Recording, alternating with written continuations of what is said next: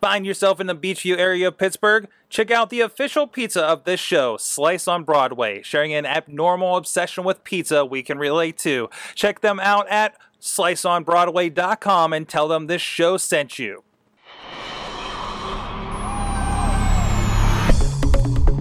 Hey guys, it's the Rambling Movie Minute, our little water cooler on our corner of the internet. Uh, of course, with me as our as my usual compatriots. Uh, I'm Mike Sorg at, at Sorgatron, but also Mulango at Rambling Mango. You can find them at theramblingmango.com for That's more me. fun stuff coming up. Eventually, maybe.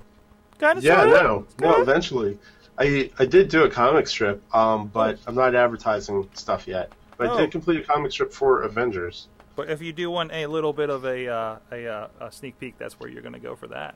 Also Yes. with us, the man from the Bronx, Mad Mike, Mad Mike four eight eight three, the birthday boy boy today.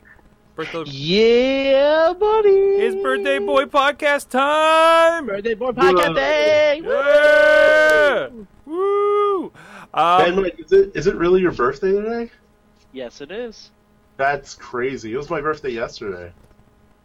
Oh, that's awesome. We're doing the the birthdays. We're birthday- it was Mike's we're birthday, birthday last week. we it was, know it was, it was so much that when I used to work with Mulango, they, I think like four of us had a birthday, and then we just all go out for one lunch. Yeah. That's how they covered that. um, so, anyways, and there's a little peek at that uh, uh, comic there. So go check that out over at theramblingmango.com. We'll be talking more about that as we go here. But today, uh, as you maybe saw uh, real quick in that, if you're on our video version, um, is, is we're going to talk Captain America exclusively. This is going to be more uh, after big releases like this. I guess the Lego. The idea is we're going to have more of a spoiler zone only. This is the thing that everybody probably saw over the weekend. So let's just you know, you know, hash Get it out. it. Most of us have watched it. Most of the people, Sorg, hopefully, listening have watched it. You are watched it. now entering another dimension. A dimension of time and space, where we see movies when they come out, and we talk about them incessantly. You are now entering the spoiler zone.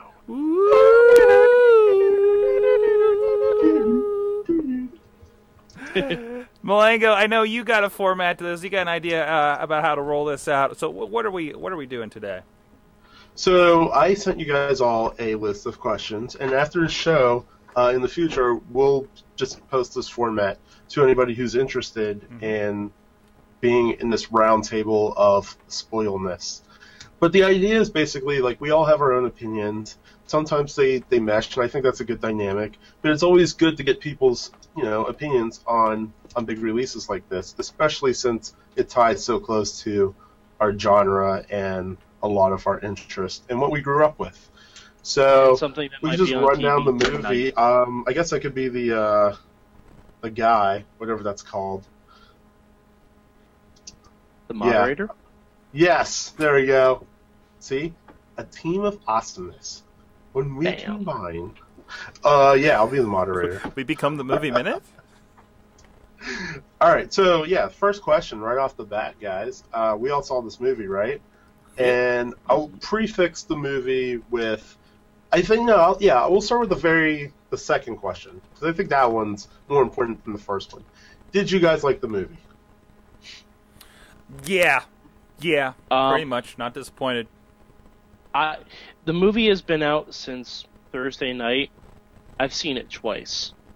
So yeah, a little Yeah. bit, a little bit. Yeah, yeah, I think uh, straight hands down, I, I, I like the movie. I think I still put it a little bit below Avengers Two, but it's up there. I, I liked it. I enjoyed it. Um, yeah. So, uh, did anybody see the trailers beforehand? oh yeah. So uh, I, I gotta say, uh, and, and Mike, you'll you'll enjoy this. Uh, when Guardians of the Galaxy hit, uh, uh, people yelling Bautista at the screen. Uh, so See- transcending wrestling, it was pretty fantastic. In our theater, we had whole rows singing "Ooga Ooga Ooga Chaka Ooga Ooga Ooga." Oh, dude, the song is in my head for like like all night long. After that, Yes. it does, doesn't even matter.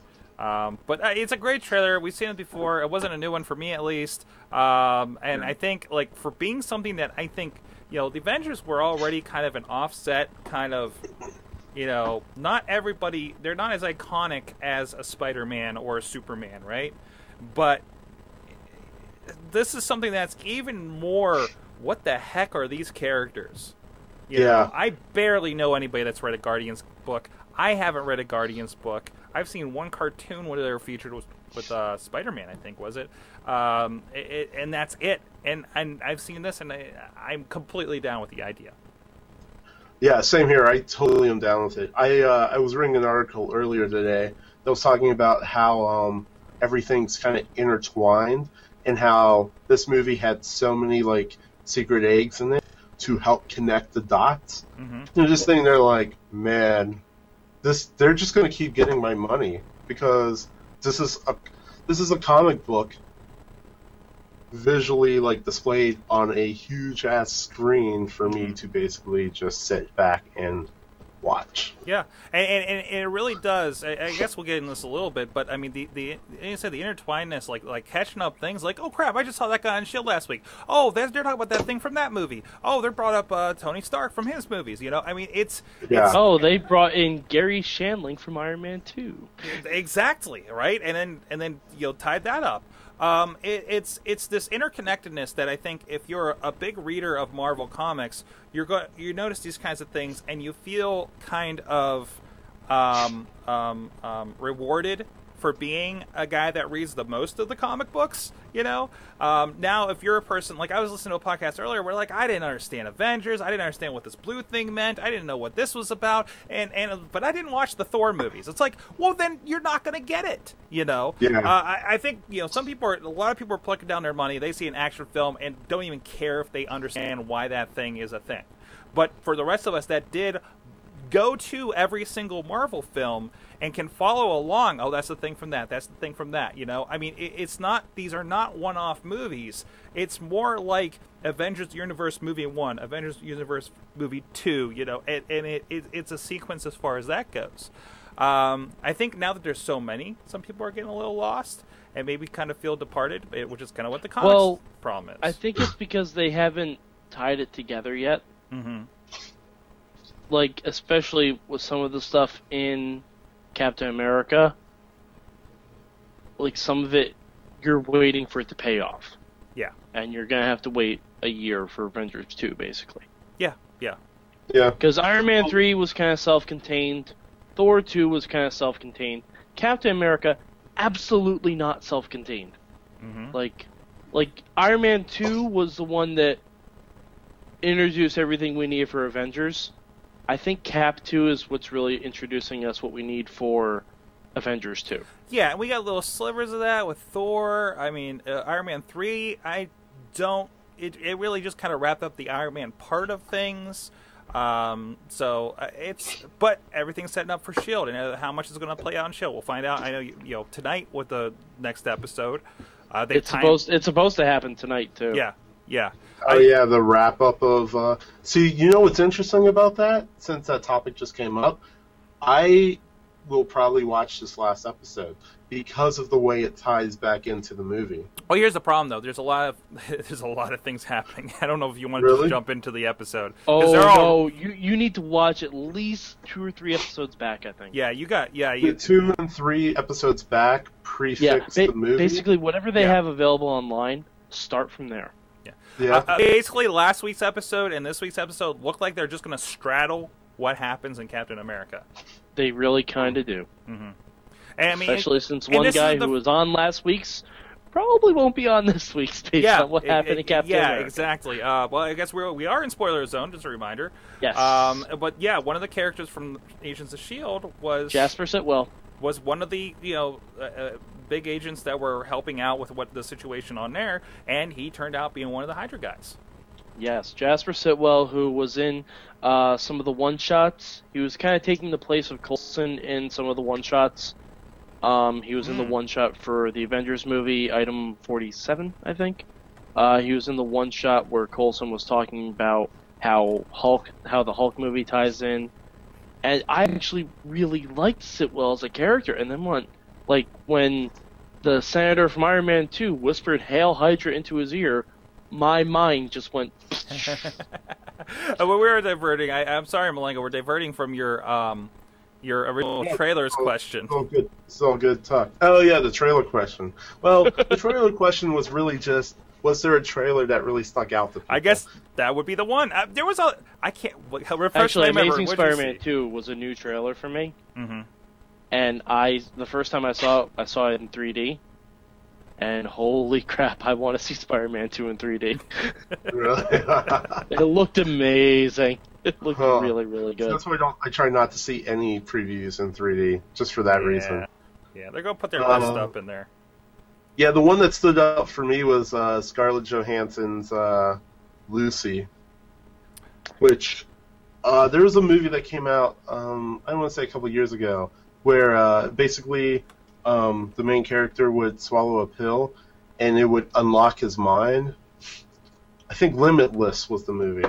Yeah. Yeah, This- yeah. This Lucy is basically Limitless with the Matrix, and I'm okay with that. I don't know how much of it is because movie. So I think you guys very- you guys got like wildly different uh, trailers than I did. I think yeah. because I don't remember What did you Lucy. get? I'm trying to remember to be honest. Matt, Like, Mike, I- did you the see first Lucy- time I the saw Lucy it, I got Spider-Man Two, uh, Days of Future Past, and that was it. Mhm. And then the second time, I got Guardians and Lucy and Draft Day. Oh wow, they threw Draft Day in there. Yeah, I didn't get any of that. I didn't even get Dragons. I didn't even get How to Train Your Dragon 2. I didn't get any of that stuff. That's interesting. Oh, and Oh. we um, got Maleficent, Maleficent too. Because you know Disney Marvel. Yes, synergy. I got that. I got that one. I think I, I, I don't remember seeing Spider Man. I got Lucy. I got Draft Day, which is weird, but you know it's all over the place. But that's okay. Hey, like rolling back into these questions, um, I think we kind of, I think by the by what we've already been talking about, we've already kind of answered this. But did the movie flow? I'm assuming yes. I thought it flew from from from Yeah. scene to scene. It made sense. It did. There were no there were no shots where I'm like, well, what the hell? In I mean, of course, in the context of the Captain America movie, not relating all the other stuff. Mhm. It made sense of like, oh, okay, well now we're going here. Oh, that makes sense. Oh, now we're going. You know, like there were no shots that felt just extremely out of place to me. Okay. And, and, and and it was uh, also kind of interesting. I saw uh, uh, Thursday uh, Samuel L. Jackson was on uh, Daily Show, and he says this movie actually has a plot of these movies. um, and also, how the hell did they get Robert Redford? Um, well, I, they're getting a lot of big name characters. They are. like, They uh, there's gonna be another one, Guardians too. That I think it's Meryl Streep. I'm not positive. Hold on, I oh gotta wow. check. Um, yeah, and it's one of those But where it's a, it's an it's an A-list act. doesn't it seem like they're kind of getting the uh, the, the the Batman? Going back to Batman, the the old '60s series, um, where this is the big thing. I don't know if I understand it, but my kids will uh, really love if I'm in this movie.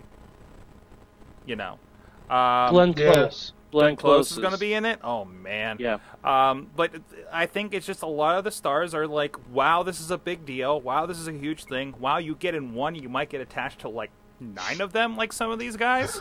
You know, I mean, Samuel Jackson has been in like every single one, for instance. Yeah. Um. So you know, Well, I mean, Clark Gregg. Clark Gregg, for Christ's sake, he got like a six-picture deal and a, and a lead in a TV series. Mm-hmm. I, I know. It, well, they've talked with him. uh, I think it's a Nerdist interview I listened to where he was talking about. It's like, yeah, I was just supposed to be this big character, and they loved it, and here I'm doing this and this, and and here we go. I mean, I think that's awesome. Yeah. Do you think they tie him back into the movies, or do they keep him? I mean, because they explained that. Well, Well, actually, I don't know because I didn't watch the show.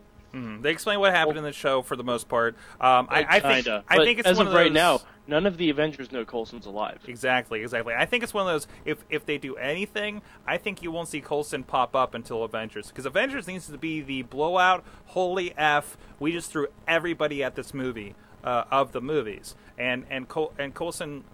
I think Coulson and Agents of Shield. I think everybody in that series that's a regular uh, that hopefully doesn't die before the end of the season, from the looks of it. Uh, you know, you know, also has a uh, rider of option to show up in Avengers 2 or maybe Captain America 3 or something because that makes sense in the long run because he's very usually close with Shield. Um, so yeah, I think uh, th- again, you know, making those careers in, in, in that regard. So uh, Yeah, I mean, I'm, I'm wondering. Like I said, you said they kind of explain it. It has nothing to do with how Samuel Jackson's character comes back to life, does it? Or because I feel like that would be a no, good no, way. something because completely different. Because Nick Nick Fury never died. Yeah, Yeah, he just faked it. I was Nick hey, Fury uh, in Captain America Mike- 2 never died. Mike as they a slowed his pul- they slowed his pulse rate down. Mike, as a fellow Marvel guy, uh, did you could you keep screaming in the back of your head, "Life model decoy, life model decoy"? Yes, I was I was hoping for it the whole time.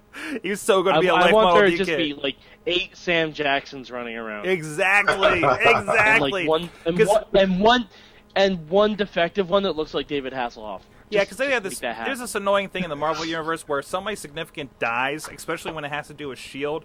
It turns out they're a life model decoy, which is basically like a. It's just a cyborg, right? It's something like that. I mean, that. that was the prevailing rumor of Coulson, but it turns out that's not the case. yeah, they're not going we that think. route. We So. think.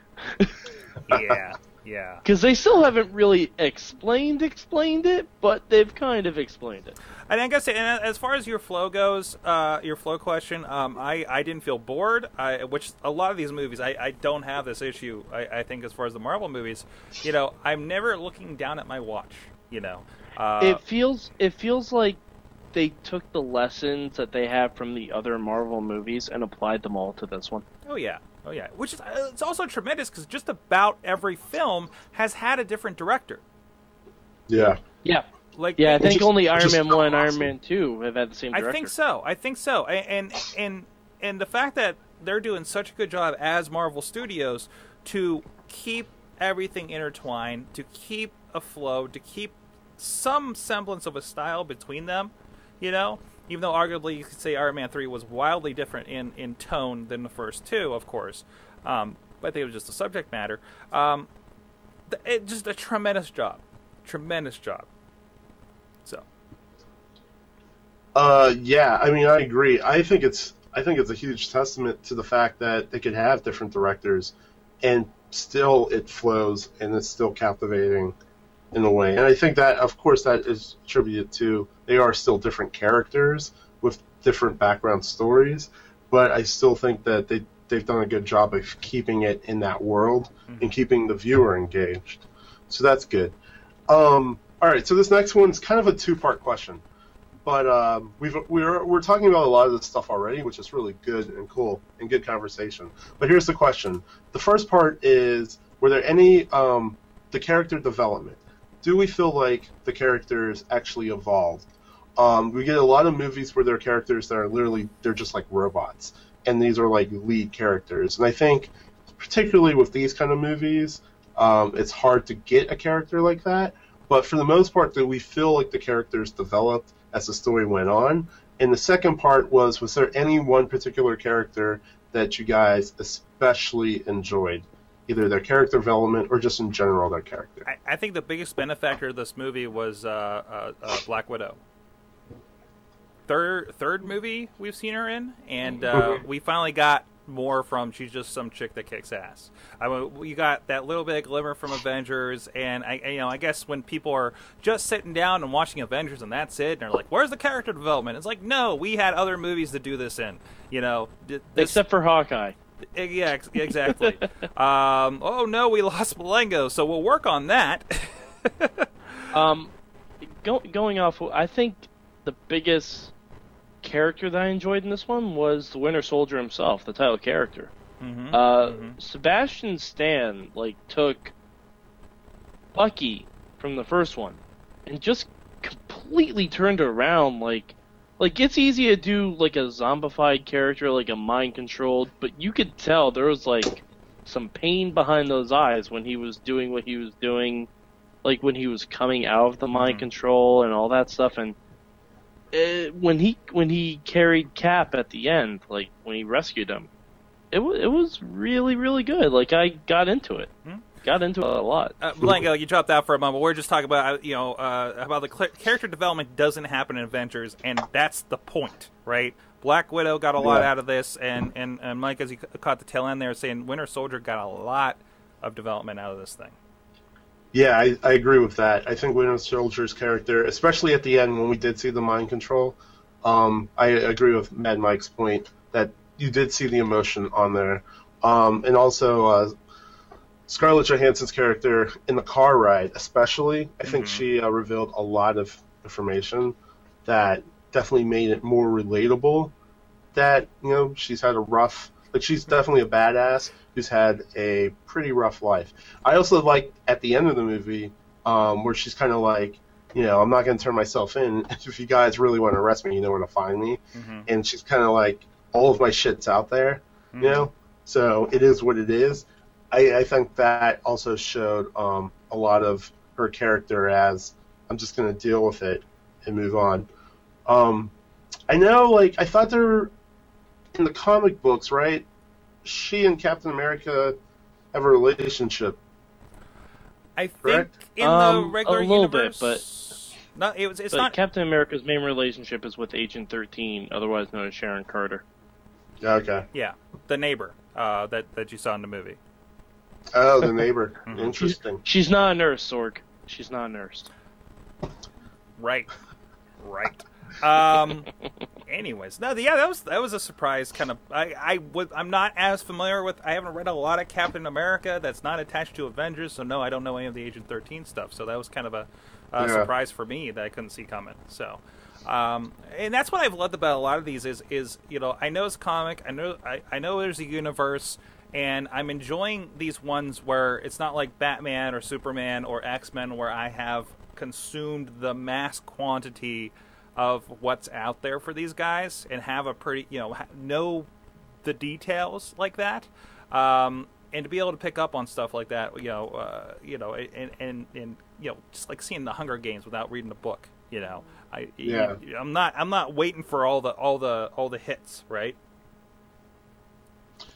Yeah, I mean, I think overall in general, I'm just gonna say because I just now have think, thinking about uh, Nick Fury's character. Um, they they go into a whole backstory of him as well, and yeah, I mean, I think the writing for this was phenomenal. So, um, all right, let's go. Let's move on. This is also like another two part question. Um, the first part is, did you have a favorite moment, a specific, particular favorite moment in the movie? And second fold, did you have a moment that you absolutely hated? I don't know if I hated it but I was gonna I was gonna bring this up on the character development side Or but- disliked? Did you did you guys feel like when in the car ride you mentioned where they're going to the base and they're they're emptying out their emotions and whatnot? Uh, did you feel like you were watching a completely different movie at that point? Uh, not Uh, necessarily, like- because you still kind of need to remember that Cap is like a 90 year old dude still trying to adjust That's to true. real life. And other than that, we don't know much about what he's done since Avengers, like since thawing. Yeah. Yeah, no, I, I kind of felt like it was just a it was a good transition to like kind of build their character development while we get from a point A to point B.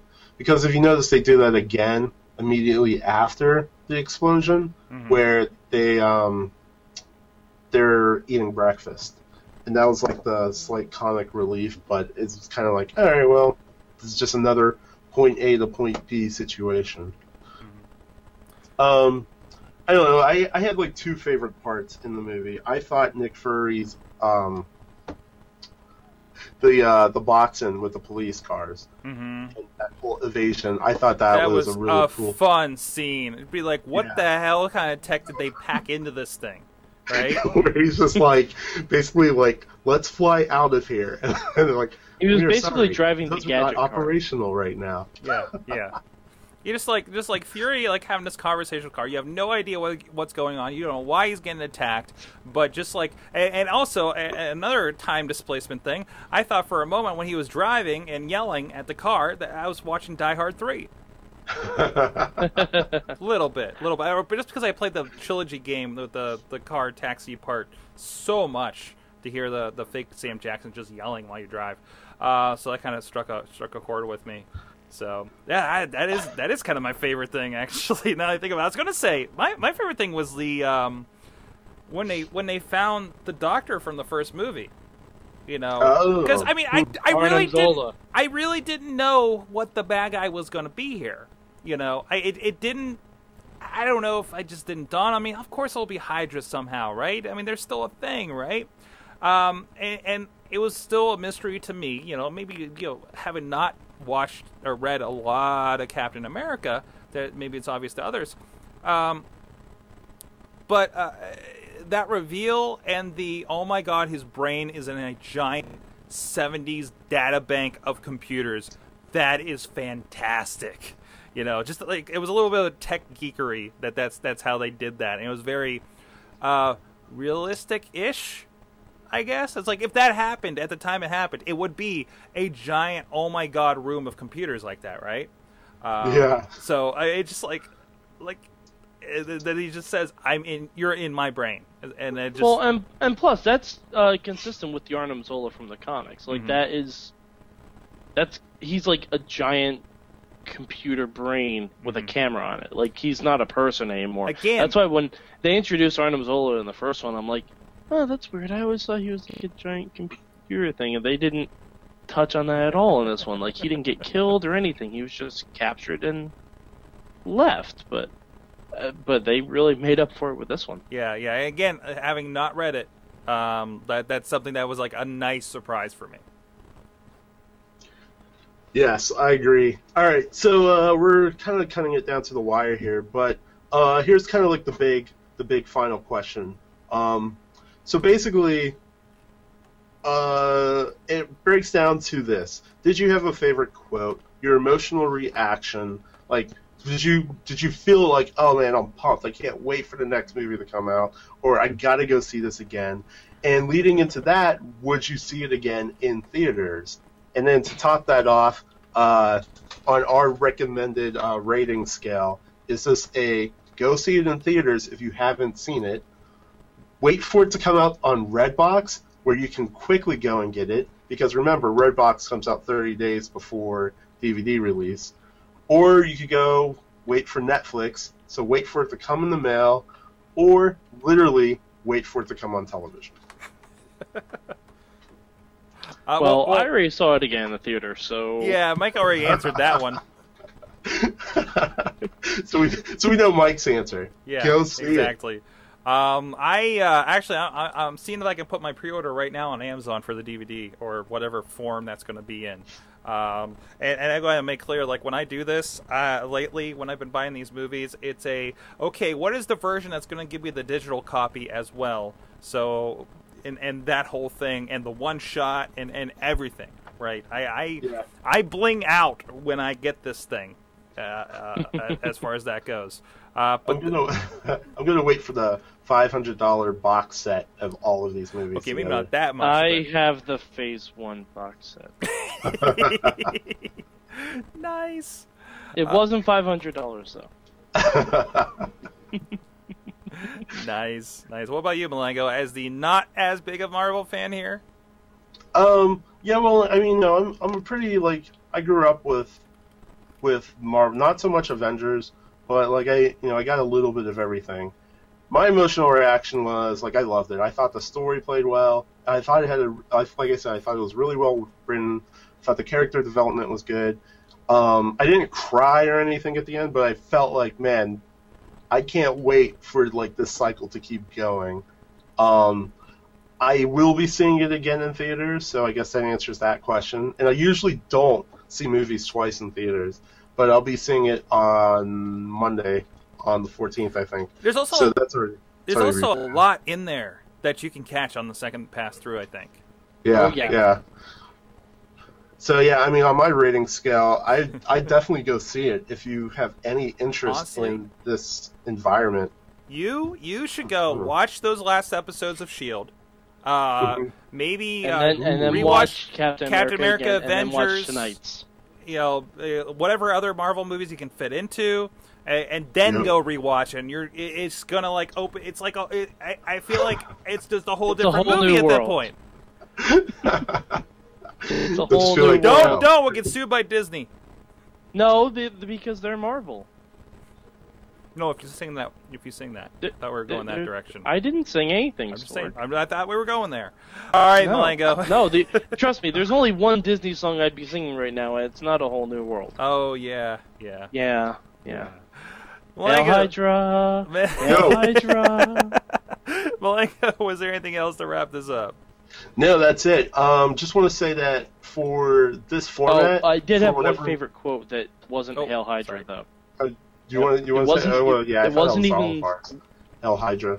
Uh, for this format, uh, we want to open it up to uh, people to either sign up, either on Facebook or at Sorgatron Media, because we'd like to open this up to a couple other people coming on and you know sharing their discussions. Uh, obviously, through Google Hangout, we don't want hundred people giving their opinions, but yeah, I think I think this is good. So, cool. Awesome. Awesome.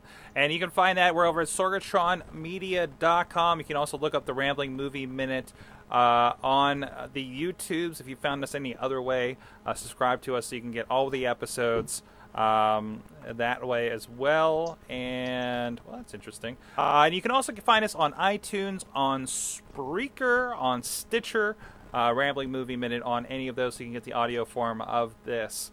Um, so with that, oh, and hey, you know, we do kind of have an email address. Uh, you can send emails. Somebody asked over the last week, so I'm going to start putting this in there. Uh, you can send the emails to movieminute at sorgatronmedia.com or just add us at sorgatron at rambling mango uh, uh, at mad mike 483 and uh, any questions or anything like that and we'll include in the show so there you go so Boom. with that uh, this has been your your spoiler zone.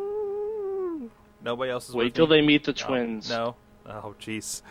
Oh jeez, the twins. We didn't even talk about the twins. Ah! Don't say the M word. Fox will sue you. Don't don't say the M word. Don't, say, the M word. With that, we'll see you guys next time.